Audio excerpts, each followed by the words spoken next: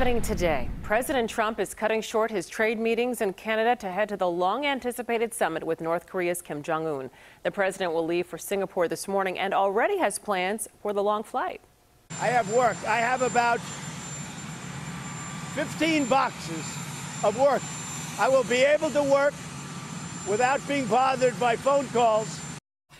Final Final preparations are underway for their historic summit, which will take place Tuesday at the Capella Hotel on Sentosa Island. Security is expected to get much tighter as the summit approaches, and all of the airspace above Singapore will be restricted.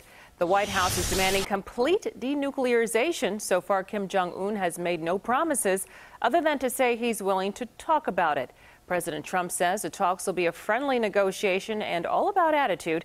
If the talks go badly, he's willing to walk out, he says.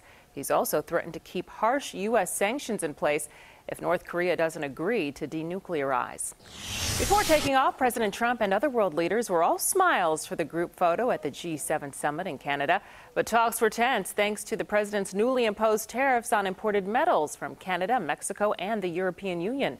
President Trump and Canadian Prime Minister Justin Trudeau met one on one and afterwards made a joke about their differences. Justin has agreed to cut all tariffs and all trade barriers between Canada and the United States. So uh, I'm very happy. So I'd say that. NAFTA's in good shape. But we are actually working on it. President Trump is missing out on discussions on climate change at the G7 summit today. An aide is said to be sitting in for him.